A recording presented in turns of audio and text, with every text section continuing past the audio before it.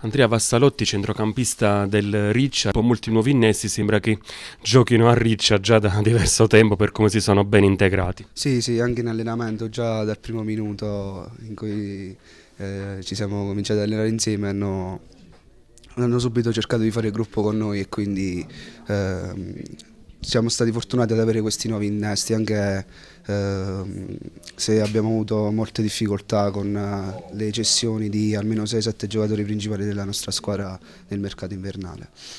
Si è chiuso quindi il girone d'andata, qual è il bilancio tuo personale e anche quello di squadra dopo questa prima metà di campionato? Eh, sono abbastanza soddisfatto ma penso che si possa fare sempre meglio ed andare oltre e cercare la salvezza il prima possibile.